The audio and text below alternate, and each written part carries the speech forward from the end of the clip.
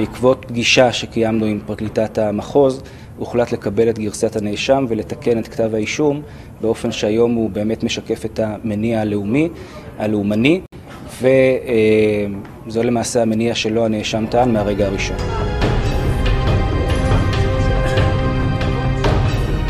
לי בכלל לא אכפת ממנו, ואיזה הטבות יהיו לו.